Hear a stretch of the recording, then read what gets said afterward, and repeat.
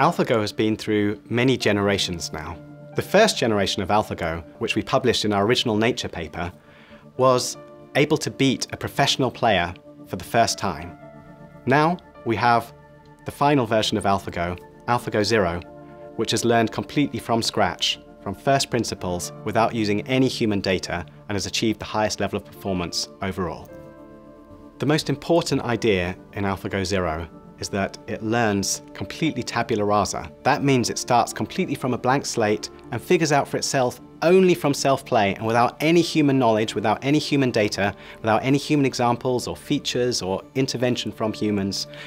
It discovers how to play the game of Go completely from first principles. So tabula rasa uh, learning is extremely important to our goals and ambitions at DeepMind and the reason is that if you can achieve tabula rasa learning, you really have an agent that can be transplanted from the game of Go to any other domain. You untie yourself from the specifics of the domain you're in and you come up with an algorithm which is so general that it can be applied anywhere.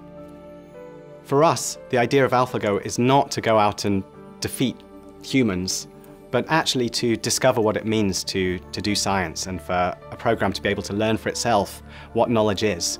So what we started to see was that AlphaGo Zero not only rediscovered the common patterns and openings that humans tend to play, these Joseki patterns that humans play in the corners, it also learned them, discovered them, and ultimately discarded them in preference for its own variants, which humans don't even know about or play at the moment.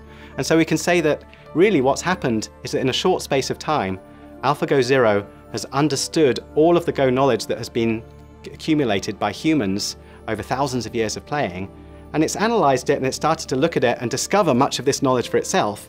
And sometimes it's chosen to actually go beyond that and come up with something which the humans hadn't even discovered in this time period and developed new pieces of knowledge which were um, creative and, and, and novel in many ways.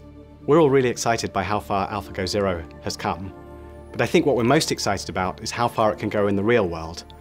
That the fact that we've seen a program can achieve a very high level of performance in a domain as complicated and challenging as Go should mean that now we can start to tackle some of the most challenging and impactful problems for humanity.